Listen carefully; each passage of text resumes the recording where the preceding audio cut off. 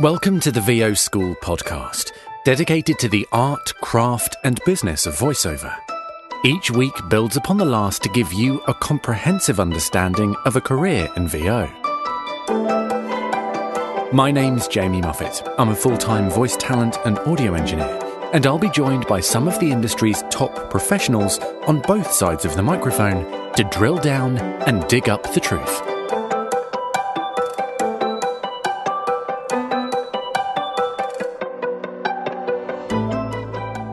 Hello, welcome to episode 13 of the VO School podcast. And today is an extra special episode. It's the first in a series of three over the festive season. And this one is going to be a highlights package of the first four episodes of this run. So I've scoured those first four episodes for, I think, the highlights and facts and tidbits that you should employ in your career and use moving forward. Think of this as a sort of Cliff Notes quick guide to starting out in the voiceover industry. As I say, there'll be two more covering episodes 5 to 8 and then 9 to 12 in the new year. As per usual, you can connect with us on Facebook. That is facebook.com slash groups slash VO School Podcast. That's becoming a really, really great place to chat, ask questions, um, get some feedback, and uh, various other social activities. We're also on Twitter at VOSchoolPro. We have an email, voschoolpodcast at gmail.com. And for all the links to all of our social, our email, and all the places where you can listen to the podcast, you can go to our new website, and that is voschoolpodcast.com. That's a real central hub to find all of these links. Okay, right, we're going to have a quick ad break, and you're going to be hearing a fair amount of me this week, unfortunately because I'll be introducing the clips to give them a bit of context, and then you'll hear me at the end as well. Lucky you. Okay, here it is. Style, power. You're watching the home of the NFL. The all new iPhone. Reserve your Disney World season pass now. Through all the runny noses, three in the morning coughs. An all new American crime story tonight on FX. Hi, it's J. Michael Collins, and these are just a few examples of the first class demos my team and I are producing. If you'd like to have something similar, visit jmcvoiceover.com and click on the Demo Production tab to find out more.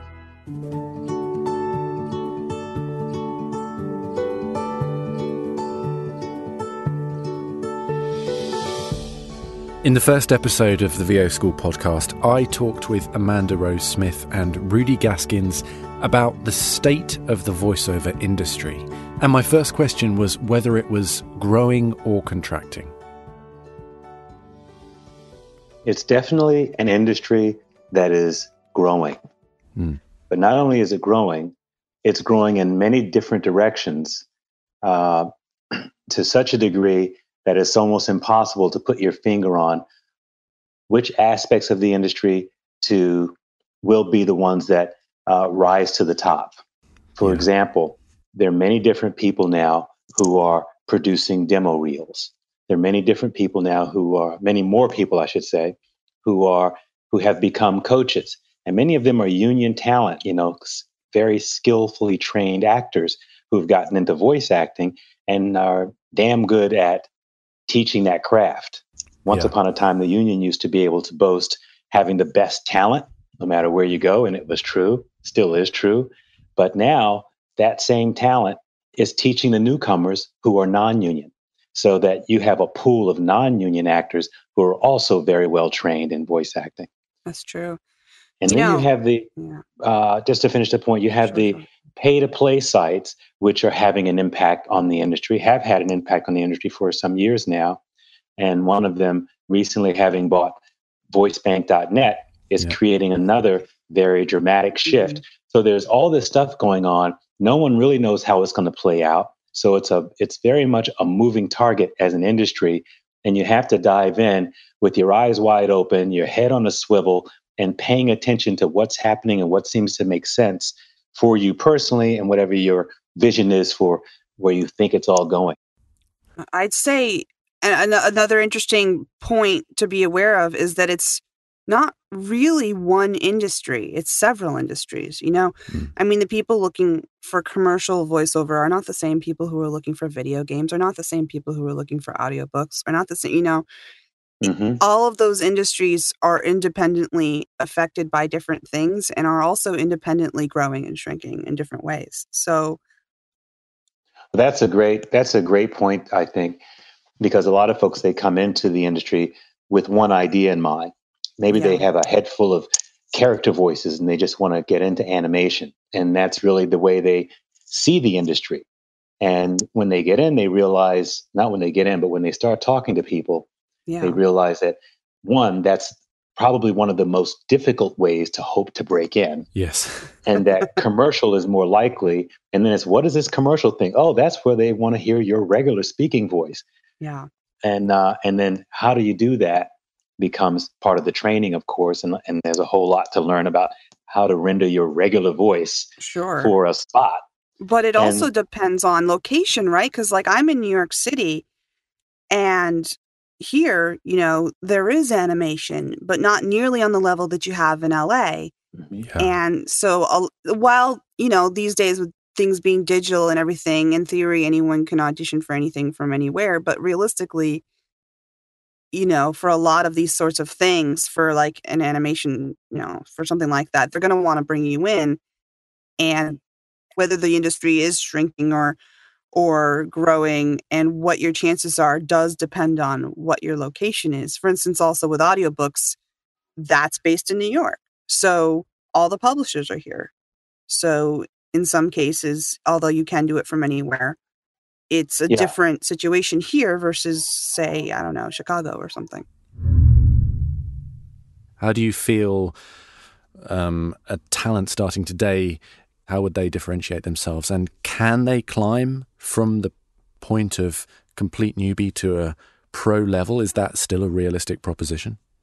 I think it's absolutely a realistic proposition.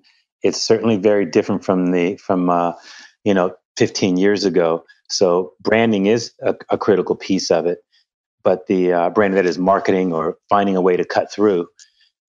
But the uh, if you're just breaking in, and even if you've been in for just a short time, say, you do have to find where you're going to fit. So it's not like you just get to say, "Oh, I'm going to be an animation person," or "I'm going to be an audiobook person because I love audiobooks."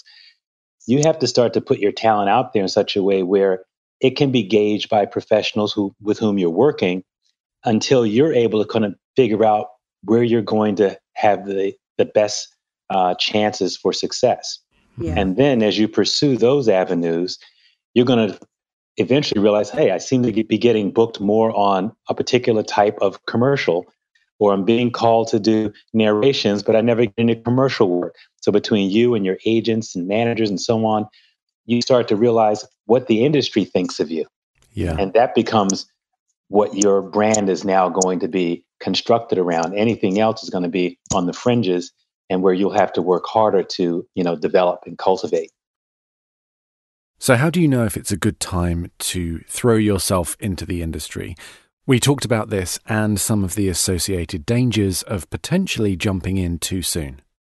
when jumping to make a demo you know i've seen a lot of people who who they're you know they're just so excited and i get that because it is exciting it's an it's an exciting field and it's fun and you want to get out there and and start working but you know people's memories are long Yeah. and it is a fairly even even with the explosion that's happened with the internet and everything it's still kind of a small world in the sense that if you do make a demo well before you're ready and start shopping it around everywhere later on you know when you are ready and you have something new and improved it, it's going to be a challenge to sort of erase that first impression that you already made before you were really ready.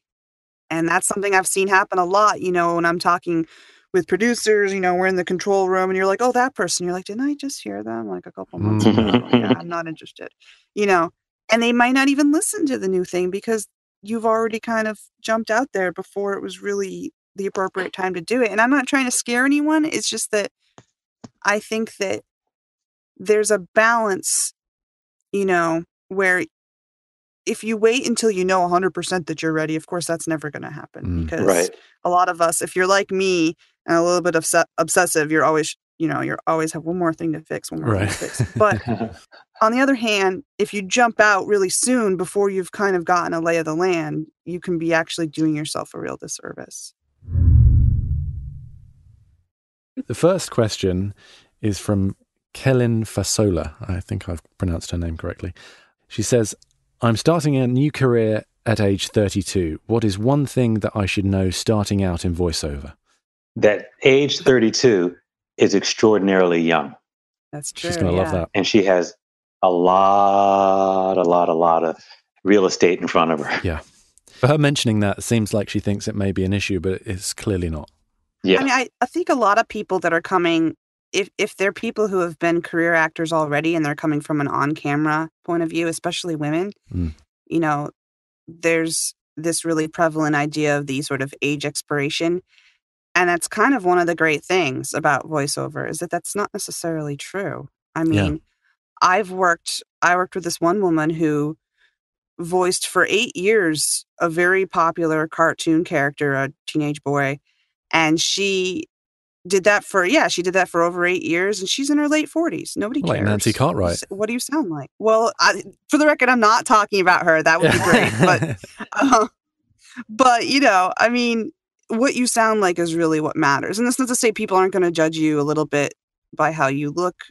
Unfortunately, I think that does happen sometimes now. Mm. But it's not the same as commercial work where it's like, well, if you're a woman, pack up and die at 30 because nobody. Yeah. Yeah. This is a little bit. Uh, this this connects with what I was re- referring to earlier when I talked about the emotional side of, of voice acting, because you see it, you know, up close and personal when you're working one on one with people uh, in private. And where she's coming from right now is is more emotional Right. in terms of how she feels about where she is as, as it relates to her age, perhaps. Mm. Uh, when the things that she needs to do have to do with the things that everyone needs to do, whether they're starting at age 18 or age 80. And that's going to be learn what this business is about, Right. get the training that you need uh, to, to cultivate your abilities to perform in front of the microphone, to interpret scripts, to follow direction, etc. And uh, if you're feeling like you're too old, or if you're feeling like uh, there's something against you because of your nationality or gender, etc., or even if you feel embarrassed on some level to uh, to put yourself out there in front of people, fear fear of failure. There's a you know there are dozens and dozens of emotional uh, hindrances that people have to deal with to break through and do something like voice acting, which does require acting, does Mhm. require you to tap into aspects of yourself that you have to bring to bear on the copy in the moment Right. Whether it's to, whether it's to smile or be angry or to be frustrated, whatever the, the, the tone is, bringing those things to bear in the moment takes uh, acting training. And life experience that you can bring that to that. That benefits you if you're older. Yes, absolutely. Abs- yeah, I mean, I would I would say that yeah, being able to access experiences that could inform your read is incredibly valuable.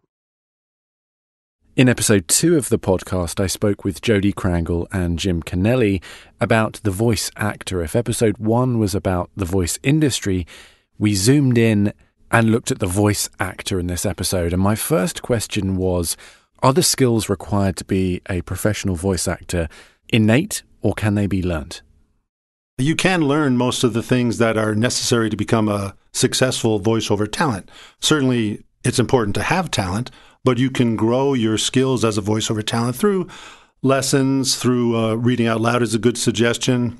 I think it's very important to bring a background that's developed, uh, that you've had other experiences in your life.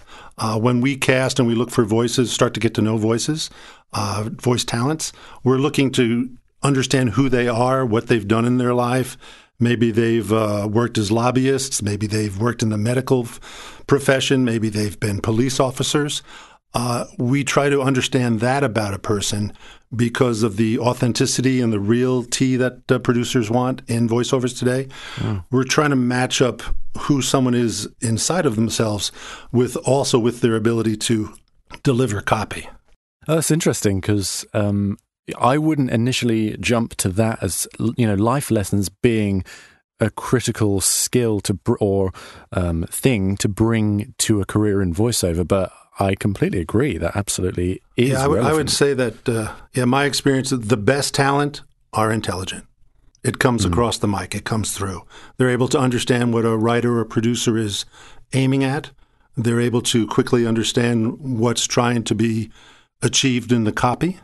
Uh, so it's much more than just a mechanical exercise when you're reading on mic. Uh, when you're really trying to communicate someone's best ideas one to another, it takes a little more soul. Right. Interesting that neither you nor Jodi, and I feel the same way. None of us have mentioned having a big, booming, fantastic voice. It's No. it's it's more about yeah. It's, It's more, more about what you do with it. yeah. But obviously, you, Jamie, and you, Jodi, are talents, and I'm not. I'm a producer. I'm a director. I do casting. But right away, I know that both of you have fantastic voices. You have lovely voices that are easy to listen to. Uh, you don't have to be this sort of deep, resonant, or this, you know, Kate Mulgrew type of female voice. You know, that, there was a moment for that. Uh, understandably, my career is a little longer than yours.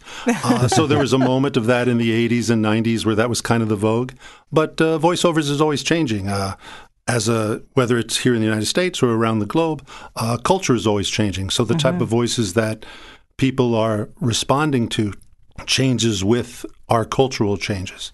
So, what do you think then is one of the hardest challenges for a new voice actor? We're in 2017 right now. What is it that's what's the biggest challenge to overcome? That's a good question. I mean, my first response to that would be getting out of your own way. right. Yeah. um, mostly because, you know, I do consider this acting, but it's a different type of acting. And you sort of have to be yourself at the same time. And you have to be yourself while you have headphones on and you're speaking in front of a long cylindrical object and you're Yeah. in a booth that's completely, uh, you know, it's a completely manufactured environment. Yeah. and yet you have to sound natural.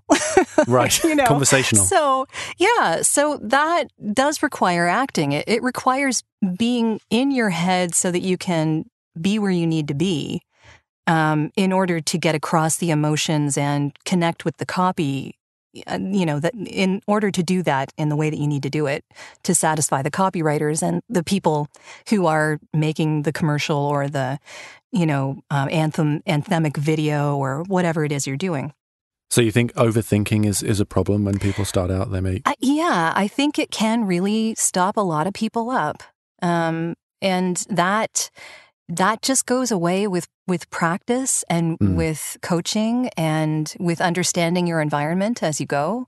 Um, because the more uh, comfortable you are in front of a microphone, the less it impacts you when you're actually performing. I think patience is very important when you're starting out. Um, we also we always talk about how patience equals trust and trust equals speed. Uh, the industry is all about speed now. So when a new talent is uh, looking at this industry, this industry is moving at such a fast pace Yeah. that it's difficult to think you can get on the train. Like it's moving so quickly, it's moving Yeah. at warp speed. So uh, how do I catch up to warp speed? Uh, but what we say to uh, young talents or y- even young producers, uh, I always tell them like, hey, you have to be patient because in being patient with talent, be patient with your clients, you build up trust. yeah. And once you start to build up trust, that's when you start to pick up speed. And now I know that if I was had a script and I had a client that needed to cast it, and I sent it to you, Jamie, or if I sent it to you, Jodi, I trust you guys because we know each other as professionals that you're going to be able to fly through that material and get me this audition back so quickly in a mm-hmm. really professional, perfect way. So for young talents, I would say you really just need to be patient. You know, just take your time, learn, you know, take your classes, read out loud as Jodi suggested, uh, some of the suggestions Jamie is giving you. And if you're patient, you'll gain the trust of the people you work with. And then all of a sudden you'll find that you've picked up the speed that's necessary to be successful in the industry right now. Jodi and Jim have been in the industry for a while now, and I asked them how things have changed in the last 10 years. Well, I think as Jim mentioned before, things have gotten a lot faster. Oh Mm. my goodness. Yeah. Um, you know, I have been asked by clients to deliver projects to them um, in a half an hour. And, right. you know, being able to do that is part of my value added, um, you know, service. That's part of what I can offer. Mm. Um, but I didn't get, I did not get asked that a whole lot, you know, even five years ago. Right. Um, I think it's just that technology has gotten so, um, well, fantastic. I mean, just the fact of you know where we're doing this interview. Yes. Just you know that says it right there. We're um, not in the same room. I'll just uh, get that out there if anyone's wondering. Yeah. we're in three but different it sounds locations. like we are. Yeah hopefully. Yeah. Um, it's just technology has gotten so incredible in the last five years even you know quicker than that. I mean i think zoom is only a, a maybe two years i think something like that you know, these things keep popping up. And so um, clients and producers and studios are aware of all these technologies and they want to use them and I want to use them. And what that does is it speeds up my job. right. Um, not only how fast I can do the job, but how fast I can deliver the job. So it's a it's continuing professional development as well, you know, yeah. as you're yeah. Oh, very much. Learning technology. That's that's half of it, learning the technology. yeah. In episode three, things got a bit more serious, and I talked with Eric Shepard and Paul Strikwerda about some of the banana skins new talent face coming into the industry and some of the ways talent can be exploited. Well, you know, often uh, I think they start off being exploited. They're brought into the industry uh, mm. by coaches. You know, coaches, if they don't have a, a steady stream of, of starry eyed newbies coming in, um, you know, they're out of business. Right. So there's a lot of effort uh, online and advertising to tell people, hey, you know, you've got a great voice and anybody can do it and uh, make money from the, the comfort of your own home. So really, you know, before they've, they've even began or, or even done their first audition, they're being exploited. Yeah, yeah, that is a major problem. Paul? Absolutely. So, yes, it's um, it's not only that, it's also the demo mills. And I think it's also the um, online casting sites because mm. uh, they say, oh my goodness, there's a whole new group of naive people who all think that they can make it big and it is so easy to get started. All you need is a microphone, free recording software, and a credit card. So they make it very easy to uh, to get your start. They will take your money. You know, they they don't care whether you have experience, whether you have talent, as long as you can pay. That is your way to get into the business. It's easy to be self delusional. You know, you spend a few bucks and you get some of this cool looking gear. And then, like Paul says, you sign up with a pay to play. And so now you've got a website and you've got a studio. And I'm doing air quotes like you could yeah, see. Yeah, I can um, imagine it. Yeah. Eh, eh, you know, and then it's just easy to tell yourself, well, I'm a professional voiceover talent uh, you know, when you started two days ago and you know nothing about the business. And uh, unfortunately, the you know the reality sinks in pretty quickly. So, after discussing some of the potential ways talent can be exploited, I asked Eric and Paul, what are some of the red flags so that you can avoid becoming prey? I, I think the biggest red flag uh, is if you're going to sign up, and this is a fairly common business model. Uh, where you sign up and you get coaching for uh, you know a couple weeks or something, or a few months, or X amount of classes, uh, and then you leave with your demo. Right. So now you have your demo and you're ready to shop it and you're ready to go out there and they give you a little coupon for 10% off a, a website or whatever uh, and tell you to sign up with a pay to play and uh, you know you have your calling card now. Anybody that's taken a handful of classes is not ready to make a demo. Uh, and anybody that's making that demo for them knows that it's not a shoppable demo. Yeah. Now, I'm sure there's somebody out there that's amazing. They're a natural, uh, and out of nowhere, they're able to make something that's great and shoppable. Uh, but, you know, there's how many millions of demos being made every day. And uh, again, if you've just taken a couple classes and they're saying, and at the end you leave with a, a demo, uh, that's a massive red flag. Right. right. And yeah. anything that says quick and easy and has dollar signs in it, right? These three elements in the slogan, major red flag. Yeah. Or uh, th- there's a few. Uh, there was one that was so egregious years ago. uh, would just talk about the millions and millions of dollars that they've personally made. Uh, and Oh. you should sign up for their coaching stuff for 199 or whatever. How many, if you've made this many millions of dollars, you're going to be on the beach. You're not going to be coaching newbies Right. and desperately, you know. Uh, oh, and speaking, and the, the, the copy uh, is well, uh, I'm paraphrasing. I mean, this was a, a little bit back, uh, but it says something along the lines of there are just waves of money coming in. You need to stand at the shore with a bucket, Oh dear. Wow. which is, I mean, that's evocative, but it's nauseating. it is. look at the copy again. If it's this, we promise you the world type of copy, and they're marketing towards newbies, then that's most probably going to be a problem. If Yeah. it's so, and you know, and do your research. You're not just going to sign up with uh, whoever, but if you're doing your research and you know who the pros go to, uh, again, you know, people that have been in this business for decades are still going to a Maurice Tobias thing, or they're working with Nancy Wolfson, or you know, whatever people, Yeah. uh, reputable coaches that are uh, you know established. They don't have any uh, you know websites promising the moon and the stars for for people that are coming in off the street. Um, so with just a little bit of research, um, you know, it's fairly easy to kind of figure out who's for real and and who isn't. Just ask their rates. That helps too. You know, if there's, I would say if oh, if you can do like five training sessions and you leave with a demo and it's under a thousand dollars, come on. Yeah. Yeah. And but the, the problem is people seem to be so impressionable. They want to believe that they can do this. People um, who prey on you can almost feel and touch and taste your desperation because they've seen all those shows on TV, you know, like like The Voice, where people become an overnight success, and they say, okay. If, Somebody can do that. I can do that. And it doesn't have to cost anything. And let's be honest, technology has made it a lot easier to get your start. You know, you don't have to spend a fortune to build an entire recording studio anymore. You can do business with the entire world just from you know, the comfort of your, your, your closet. Yeah. So the, the, it's easier now to enter this business than at any time in the, in the history. So both Eric and Paul are not fans of pay to play websites, um, but a lot of talent use them to get their start. So I asked Eric and Paul what are some of the alternative ways new talents can start out in this industry. Well, look, the the pay to play model uh, is a huge problem for the industry in general, Mm. uh, but this is not going to be of a concern to somebody who's you know who's just coming in. Yeah. Uh, the problem is their their choices or their options are limited. Uh, You know, they're not going to get an agent right away.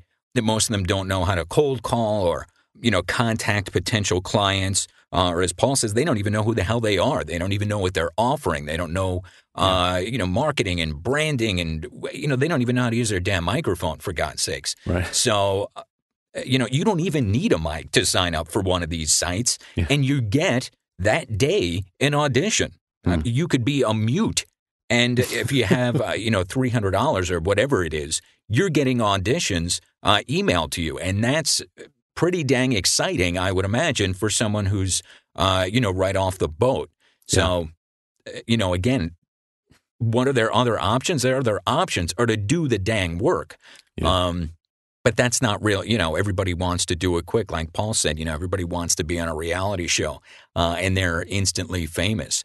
So when it's a little difficult to get an audition, uh, and again, you know, you could just pay some money and then all of a sudden they show up and, wow, this is like a thousand dollars. I'm going to read for that along with however many, you know, millions of other starry eyed hopefuls. Yeah. Um, and then sadly, which I think a lot of them don't realize, uh, very, very sadly, uh, there's some pros on these sites as well.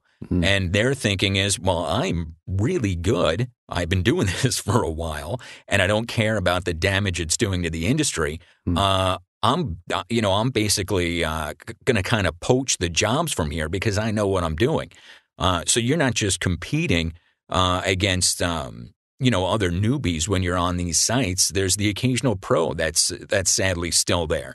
Uh, and these people are going to trounce you because they know what they're doing. They know how to read copy. Um, you know, they're actors. So again, that's a, you know another reason. And there's people that aren't going to listen to us. And good, you know, if you really, if you think you're different, and that's what eh, that's what most people do. I think this is what keeps it going. They say, well, I'm different. I'm smarter. I'm more unique. I have a great voice. I sound just like X, Y, or Z, and Yeah. uh, they're making millions. Uh, you know, go for it, but brace yourself. So we're painting a rather bleak picture of the industry, but I wanted to know what are the chances actually of achieving success in this industry and what can you do to increase those chances? you know, everybody knows how unbelievably difficult it is to become the next, uh, you know, huge Hollywood star. But, you know, the buses are still unloading every day in LA. So there's always people that are going to, you know, chase the dream.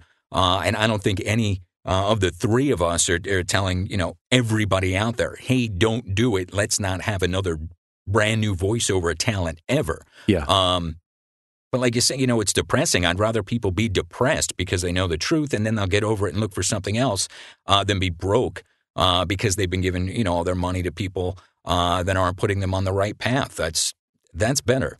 Yeah, I, I completely agree.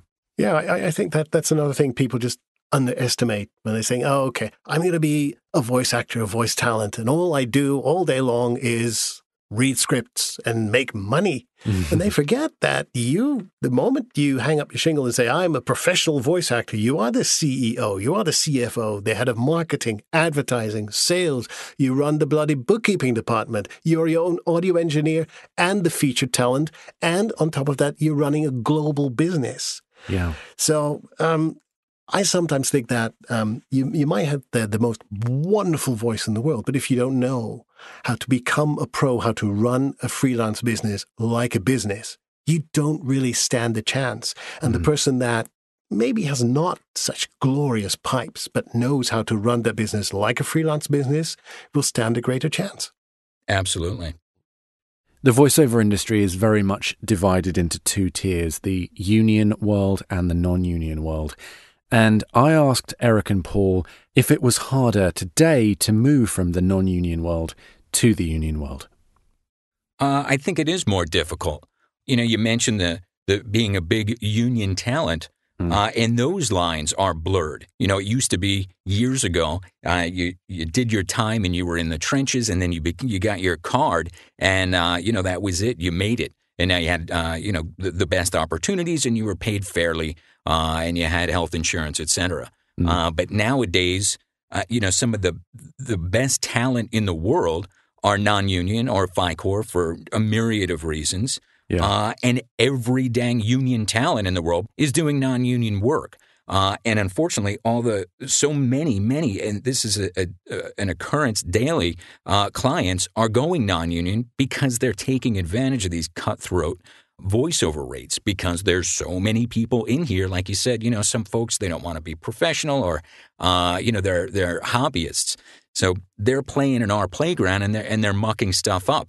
So you've got these, uh, you know, super low rates for, uh, you know, almost every project. The rates are, are going down and down and down.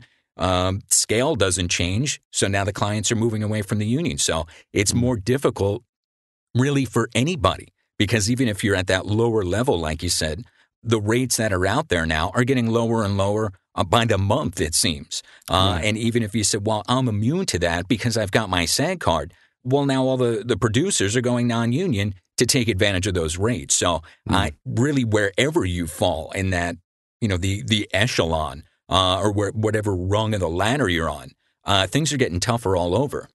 I mean, are the Coca Colas of this world are they are they worried about the amount of money they're paying to talent? Oh my God, the the Disneys and the Googles of the world are putting out you know full buys for uh, at less than a tenth of what it would have been uh, union, and they've got more money than God. Yeah, I mean they're laughing all the way to the bank because for them, for the clients, you know, that I don't hear them complaining because you get more for less. Yeah. But I, I somebody wanted to know, um, you know, how do I become really a top-notch, very well-known voice actor? And I think the the way to approach that is to not become a voice actor, but become a very famous on-camera actor because you know, that's how we get to know them. And that's how these people get all these nice jobs on the side as voice actors. See, so that's the shortcut to make it in voiceover. Just be a Hollywood star, Right. and then you really you can get in a voiceover pretty quickly. It's as easy as that. Yeah. Yep. That's, the takeaway. That's how you. That's how you do an end run around this system. So, in episode four, I was in my element, really. We were talking technology when it comes to voiceover and recording. And joining me were two excellent audio people, Amanda Rose Smith and Tim Tippett. And my first question was for those starting out in the industry, what is your first technical consideration? Your space. Hmm. Yeah, I have to agree with that. You have to have a, a quiet space to voice in, and uh, you can find them in the most surprising places. Uh, a quiet closet in your home is a great way mm. to start out. Totally. And clothes absorb sound. So, you know. Yeah, win-win. exactly. Yeah, and you can even throw some, uh, you know, some treatment uh, like a moving blanket on the door of the closet. Definitely. And uh, if you got some carpet in there, you know, mm-hmm. you're good to go. In fact, I can tell you for a fact that we've heard a lot of promos uh, and and other pieces, commercial pieces on television that have come from a closet. Absolutely. I know people who've done hundreds of audiobooks in their closet. And, you know, for those, you got to sit there for quite a while. But, you know, it doesn't necessarily take a super pro looking space, you know, to make a pretty pro sounding product. Secondary to that is equipment. And I think mm-hmm. it's important uh, to throw this out here early to anyone um, who is starting their voiceover career to understand that it's really easy to get overly involved in the type of equipment that you need, the software that you need, because there's so much information out there, especially on you know uh, destinations like YouTube hmm. and forums where everyone is an expert. Yeah. Right? Yeah. And and that's fine. You know, I'm not saying that some of them aren't experts. There are plenty of them out there. I'll say that. But yeah, but it, I mean, it only takes tripping over one thread to get the wrong idea. And then someone says, hey, you know, get a Neumann uh, U87. and then you go out and spend three or $4,000 and uh, the equipment that you have doesn't support that mic. Yeah. Uh, and we see this all the time on when they do mic shootouts between, you know, it's all the clickbait, right? Mm-hmm. Uh, $100 mic against a Neumann U87. Well, and then the conclusion is it sounds just as good, but you're also uploading to YouTube. So we're not getting all of the yeah. sonic information, and, number one. And the space also makes a big difference, you know, because especially yeah. if you're recording in a space that isn't ideal, I tell people, I'm like, yeah, you could get a U87, but it's kind of like, if you go to a supermarket and stand under a fluorescent light and wear no makeup and then take a nice close up picture with a great HD camera. Yeah. Are you going to be true. happy with that? Probably yeah. not, right? so. Yeah, yeah, yeah, really well put. And that, and that, you know, so these trappings that that new people get into, there's just so much information out there. the The secret is there is no secret. Right. Just keep it simple. Mm-hmm. You don't need to spend thousands of dollars to get into this game. No. Nor should you. I mean, as you as you continue to succeed and you're building your voiceover career, should you improve your entire audio chain? Absolutely.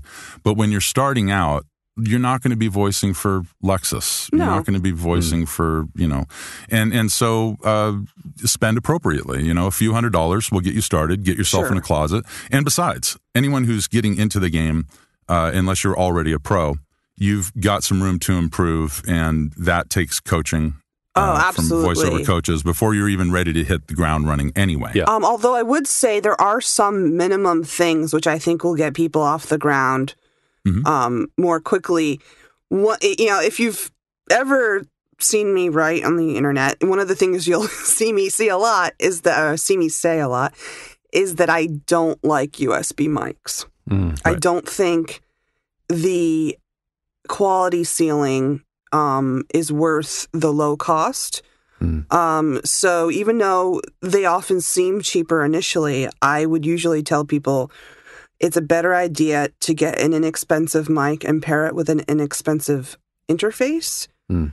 Um, I think that the sound, your ability to make a better sounding project uh, product is better, and also it allows you to upgrade in a modular way.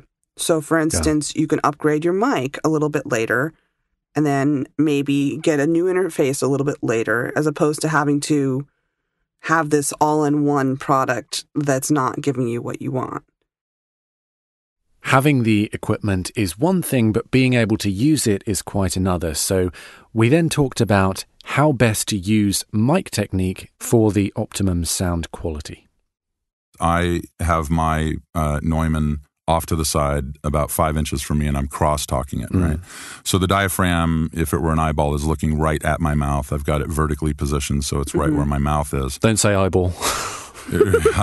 Sorry. Yeah. Uh, as if it were an eyeball uh, looking at my mouth, um, so that I don't have to deal with uh, you know a pop screen or or anything like that. Because uh, yeah, speaking directly into your mic, even sometimes when you have a pop screen, you can still pop the mic just like that. Yep. Um, but uh, I think it's really important to also point out that along with the space that you're voicing in, along with the equipment, I cannot stress enough how important proper mic position is. Oh yeah.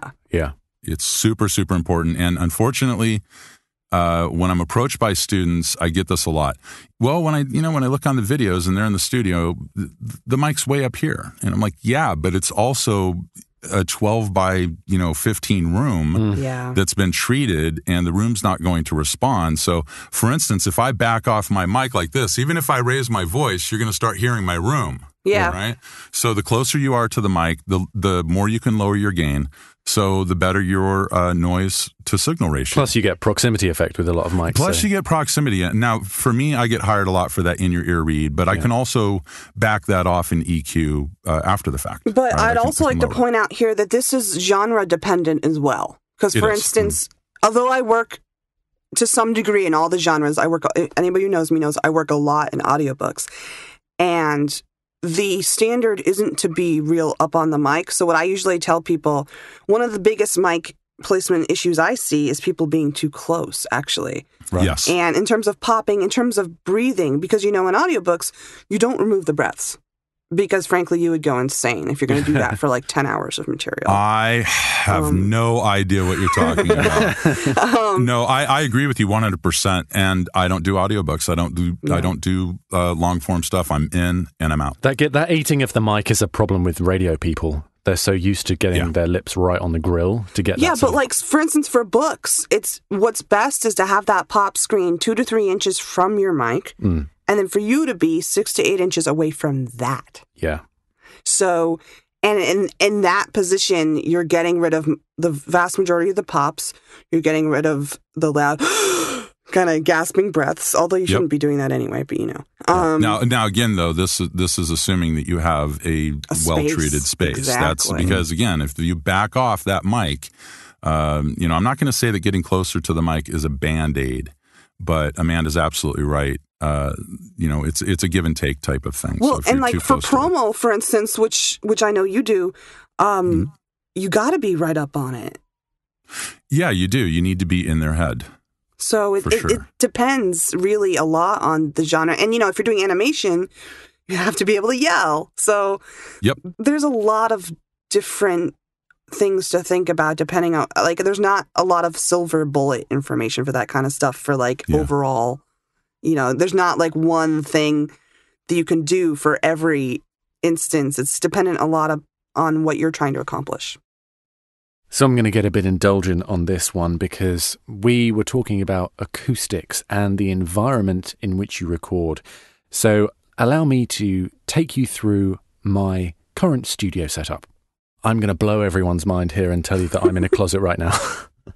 Um, oh, I know. I'm not surprised. Yeah, um, you can hear it. No, no, I can't hear. It. I can't hear it. No, but I'm just not surprised Yeah. because you can make it sound good. I'm I'm in a temporary home right now. We're choosing our next location, so I've set up in a closet, and it's I don't know, it's probably about six foot square. It's not it's not totally square, which is good. in new york city i'm like that sounds luxurious I know, I know. it's my living room That's like a whole apartment. um, but this studio has not got a ton of fancy acoustic treatment. It's got some um, Auralex style foam, which is a brand of foam manufacturer specifically for audio. It's also got a few chunks of just random upholstery foam and things like that, different thicknesses, different different uh, shapes, and a ton of junk. And frankly, junk is some of the best acoustic treatment stuff if you're in a small space because it what it does is it diffuses as well as absorbs the sound. yeah And diffusion is much more even in how it treats the sound as opposed to absorption, which absorbs across the frequency spectrum differently depending on the foam you're using. So, what you're aiming for in a, any kind of recording space with the voice, particularly, is quite an even amount of absorption across the frequency spectrum. So your voice sounds like it does, just without any of the uh, reverberation in the space that you're in. And if right. you absorb and diffuse equally across the, fre- the spectrum, everything is getting absorbed and diffused at the same rate. So I find that experimentation is the key. If you don't have a big budget, if you can get in your space and set up your mic, do a bit of recording, bring in some stuff, put it in the corners because that's where a lot of bass gets built up, mm-hmm. and then experiment. Bring in some foam, bring in some acoustic foam, bring in just random bits and pieces like uh, Tim said, bring in uh, packing yeah. blankets, things like that, and a real mixture of stuff. I find creates the best possible sound. And it when you're first starting out, what it looks like, you know, it doesn't matter. It doesn't matter no. what it looks like. So No, it really doesn't matter. So yeah, go from that point and you know, so long as you've got junk in your house, which everyone does, um, you'll be fine. Just just don't use like big open storage bins without a lid. Right. Yeah. yes. Yeah. Things it, with mass. To make yeah. it sound tubby. But it's funny because as as uh, an engineer, when you're monitoring, you know, you might be mis- uh, mixing a track or something. Uh, we think of diffusion as our friend in that regard. Mm. But you're bringing up a really great point, which is diffusion in the booth, and I love that. Yeah. Yeah, it's and it's something you can do for cheap because any uh, item that has mass and has a funny shape is going to scatter the the sound waves, which is what exactly. diffusion does. Like you just yeah. look at it like in the same way that you think about reflecting light. You know, yeah. If you have a bunch of surfaces that are pointing in different directions, so that those waves are going to be like ping, ping in all different directions and not be bouncing back and forth of the same surfaces like a ping pong ball. Um, that's what you're trying to avoid. And it's really easy to do because most things are not the same shape as other things. So you've got your audio into your computer via your microphone and your interface. What do you do then? We discussed post processing. If you don't understand EQ, if you don't understand compression, if you don't understand gating, and really gating is kind of a four-letter word in the in the in the world of VO, especially for engineers, because what we really should be using is is a form called downward expansion. Exactly. Yeah. Okay. Let's um, hang on, which, hang on, Tim. Let's back up yeah. here.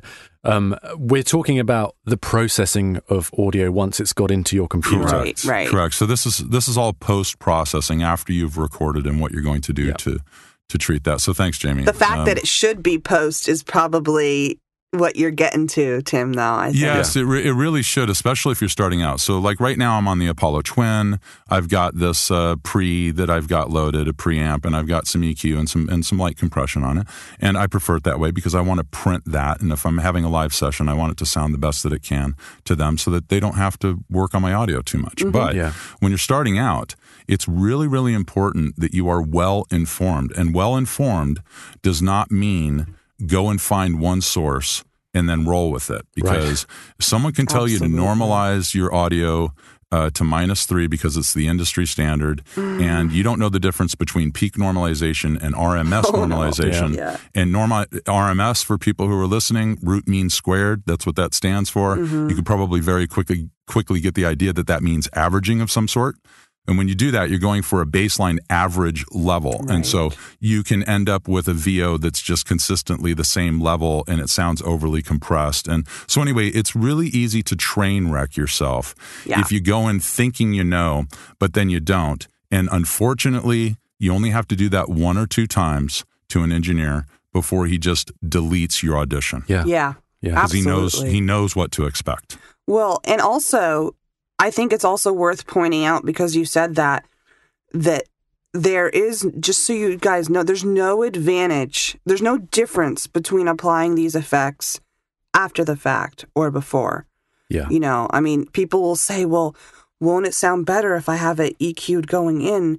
Not if you if you do that same eqing to your audio afterwards it's the same result. Just so long as you give yourself plenty of headroom before you sure, hit your converter. sure yeah. I mean but what I'm saying is that you're not missing out on anything by applying this after the fact. Absolutely. And you're also you're protecting yourself because when you have the raw audio and you're applying effects afterwards, you can undo it. So talking about post processing, I wanted to know is it a requirement of a voice talent to be able to process and work with their audio or is that the audio engineer's job? It depends. I know that's the, the uh, the response that Tim was was. But is that your job as a voice actor to to work with that? Um, I can address that uh, if you don't mind, Amanda, Sure, because Um, of the teaching aspect of what I do. So here's I get asked this question all the time, and when I am dealing with a new client for a, a project, uh, once in a while they'll say, "Hey, don't do anything to your audio at all." Um, which you know I always do, and I've never heard back from anybody who said, "Hey, don't do any." You know, I told you not to do anything to your audio, right? I'm the because, because what they're getting from me once I deliver it is they're getting something that has a kiss of, you know, nice compression, Yeah. e- EQ'd into a into a better state than it was before. So the conversation for me is this: if you're in a booth, you are in a box, all right, and uh, you know, right around 500 hertz, we know where this is, right? Honk, uh, which is Mhm. usually Mhm. referred to in the music industry.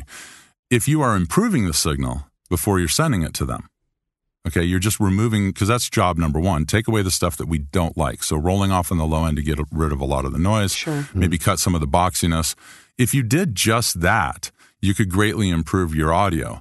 But the thing is, is that people want, they have it in their mind that if they send it in and it sounds like a promo trailer, then somehow that's going to impress the other person and they're just going to be like wow this is the greatest thing that i've ever heard and you know that's that's not what's happening out there guys the real pros and and uh, J. Michael Collins says the same exact thing that I do because I cast from time to time.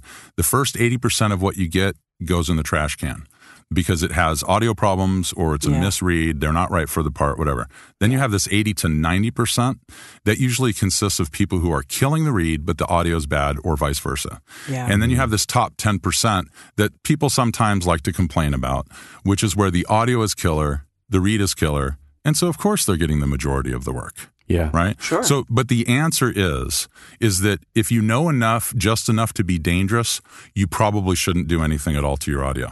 Yeah. Okay.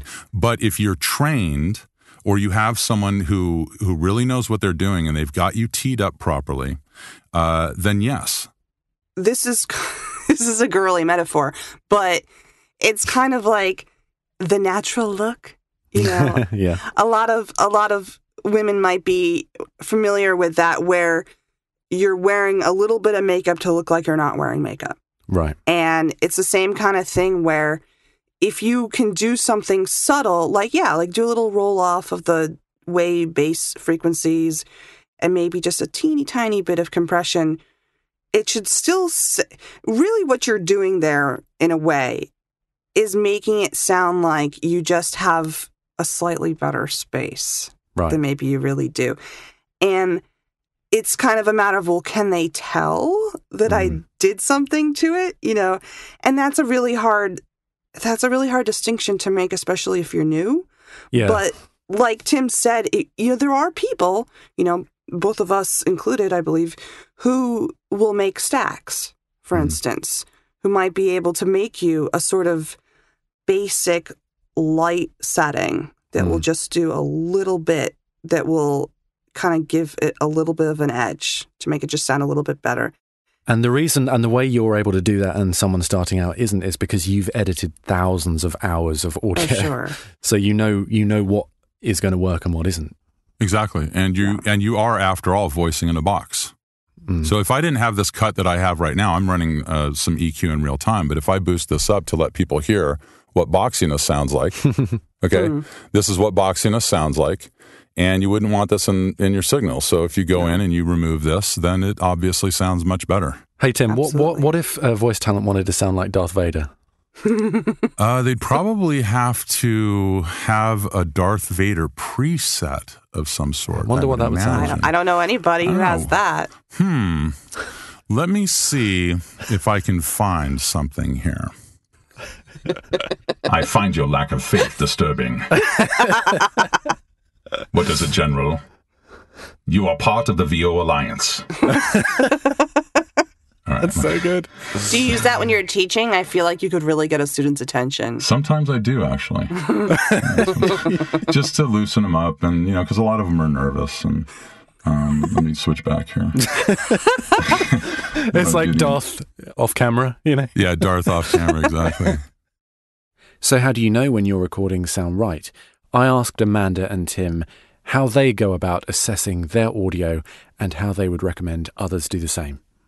There's a really strong community um, in this industry. And I think that anybody, uh, I mean, this is probably counterproductive because we're on a podcast. So it's, I'm not like I can tell you people to join the internet because you're on it. But, um, but you know, there are a lot of Facebook forums and forums and other places where a lot of accomplished professionals talk about this stuff. And I think that, you know, when you connect with your industry, you can definitely get a feeling for who's kind of who's doing well, who kind of knows what they're talking about. Yeah. Like I always recommend that people lurk for a while and kind of get a sense of that. And then, you know, listen to their stuff. Like Jamie said, it's, it's a really good idea to, to do that.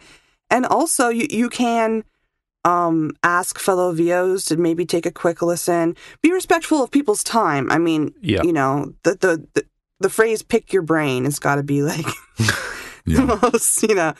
Um, but also, and then also hire people, you know, that specialize in this kind of thing.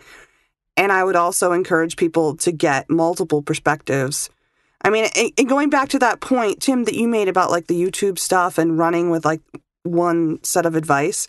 Yeah. I think if you want to avoid falling into that trap, because it's the kind of thing that anyone starting out in anything can fall into because you just don't know, you know. Um, But if you look at multiple sources, you can form an aggregate, you know. And when you find like five people saying the same thing, then it kind of gets to a point where you're like, okay, this sort of seems to be the industry standard. Yeah. This seems to be an explanation that I've heard several different ways. And then you can get confident with that and go. And I know a lot of people, it's an exciting field. You want to like go out and get started right away. But doing your research and sort of approaching it in that methodical way is a really, really important thing to do because Yeah. like I said, it's a supportive community, but it's also a small community. And, you know, like Tim was saying earlier about, you know, you only need to see someone's name a few times and have, you know, before you start deleting their audition, peop- you only have one chance to make a first impression. Yeah. So it's a really good idea to take advantage of the resources that are out there and kind of take a beat and make sure that you're doing what you want to be doing and then go out and start submitting stuff because it's I know we get impatient and it's hard to wait, but the rewards that you will reap for doing that are significant. And now, my final question of this episode is by far and away the most boring, and it's to do with file formats and delivery specs and file transfer when you've completed the job. So, there's no way of sexing that up. It's very boring, so take it away, Tim. if you're not sure, then ask what the specs are. And typically, what these guys are looking for, some are in the know, some aren't. So they might be asking for 48K. Uh, some will ask for 44.1, 16 bit. So for everyone listening out there, 44.1, 16 bit is CD quality. Mm. Okay. Yeah. So if you're recording in that format, you're more than likely safe at home. But sometimes you will get people asking you for 48. All right. Yeah. For for whatever reason. Doesn't really it's matter. common in video. So Yes, it usually if it's something that's going to be put to video for whatever reason, Mm-hmm. audio that's going with video is almost always 48, but We should also mention that what you're recording at versus what you deliver. So, what you want to make sure is that you're recording at a high enough quality that you can always go down Mm. um, when you deliver the files. That is to say, you don't have to go up into the 96k ridiculous levels. That's that's not going to help you at all, and it's going to create huge file sizes that are just going to. I think it's going to be rare that you'll ever want more than 48. I mean, even, you Yeah. know, Yeah. So if you record a decent enough uh, setting, like uh, 48k sample rate, 24 bit bit rate, um, you can then convert down to pretty much anything you need to send out. And so you'll also get the benefit then of all the plugins working at that rate, which they operate slightly better at that, at the higher um, sample rates and bit Yeah, they absolutely Yeah. do. They Well, it's like what do. Tim said earlier about having a raw version of something.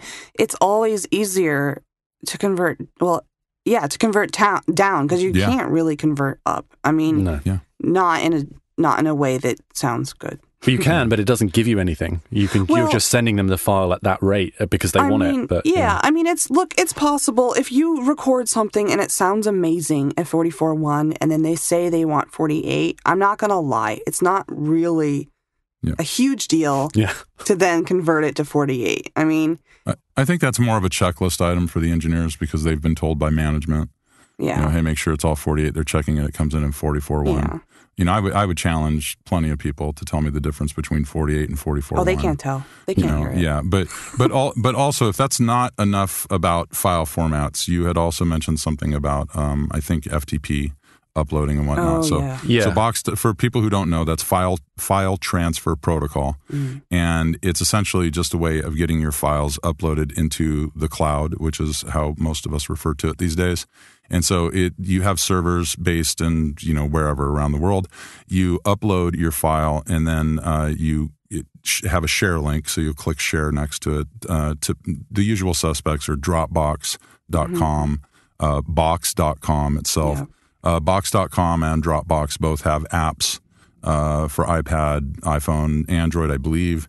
Um, on a side note, uh, Box.com rewarded me for loading it on all three of my devices and took my storage from five gigabytes to 50 gigabytes for free. Wow. Uh, Google Drive is another option. If you look at free FTP, uh, look for the popular ones. Okay, look for trusted sites. Yeah. Don't put yourself in a position where you're looking up free anything and then not knowing what you're clicking on because we all know what happens when someone offers something free. Yes. Uh, or can happen, right? So just make sure it's a reliable source. But uh, guys out there listening, uh, here's how it works: you upload it. Once it's uploaded, there there'll usually be some sort of a share button. Yeah. You'll share. It will allow you to copy the link, and then you just paste it into your email, and you say, "Here you go." And when they click on it, they're able to go straight to the file, and then have the option to preview it typically, or listen to or, or download it. I'll also say, and this is this is just something that I've sort of noticed and come to find, it's worth having some version of a paid account to one of these, just because Mm. you know I've been in a lot of situations where people have been like, "Oh, my free Dropbox is full, like I have to do," you know, it just it's a little. Personally, I feel like it's a little unprofessional. Like Mm. when you're ever in a position where you can't get people the files that they need because of space on your end, it just doesn't really look good. Right, So I'm not saying spend a definitely don't spend a ton of money. Um, but it's nice if you have a system that's relatively seamless where you can just say no problem. And where also you can leave files up because I also can't tell you how many times you know, that's the danger of stuff like WeTransfer, for instance, that there's a time limit, right? You send something to someone and they have a certain number of days. And of course, it seems ridiculous that they wouldn't just download it when you send it, but people sometimes don't. Yeah. And then it's it's nice to have a link or something that you send to someone that's available for a while. That's funny because I I I absolutely agree. I, I use uh, MediaFire and uh, it's it's a bit like WeTransfer stuff like that, but Mm. it's I got the paid account and I'll sometimes be scrolling through and I'll see a file from like 2012 that's been downloaded like 25 times.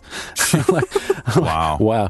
I'm glad I kept that up there because that would have been an email and then I'd have to dig through my system Yeah. to find the file. Blah blah blah blah. Yeah. Yeah, that's so a good point. it makes perfect sense to have something that can be up there all the time. Um, It can save you a huge amount of time.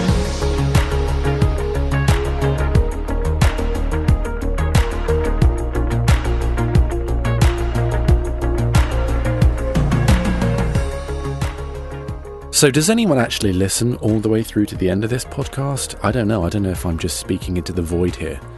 Send me a message. Let me know if you do.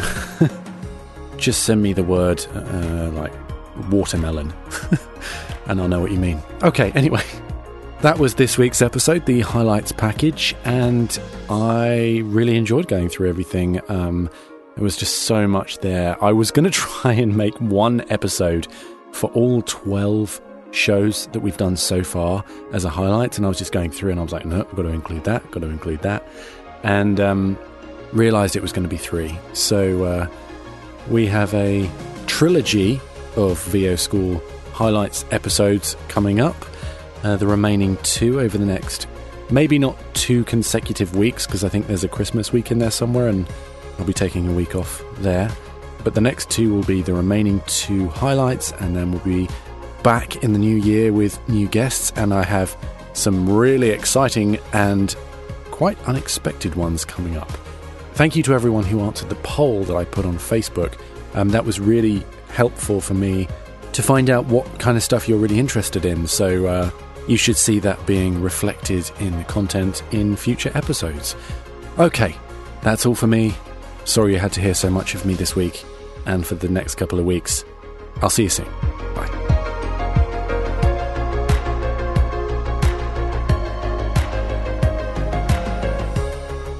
Thank you to this week's guests. Thanks also to our sponsor, J. Michael Collins, social media support from Chris Sharps, and Backstage Magazine. Join us next week for another class.